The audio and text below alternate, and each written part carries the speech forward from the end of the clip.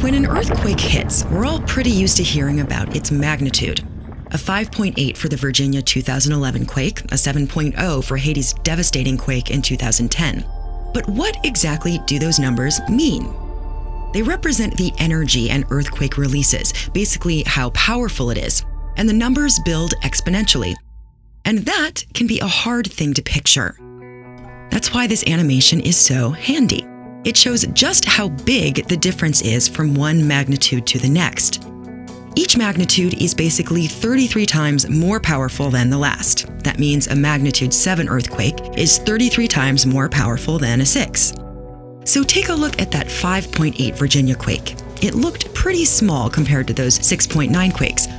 But compared to that 7.7 Sumatra quake, it looks tiny. And it's all because of this exponential scale it builds fast by a factor of about 33 with every jump. So the difference between two magnitudes, between a magnitude 6 quake and a magnitude 8, is 33 times 33, or 1089.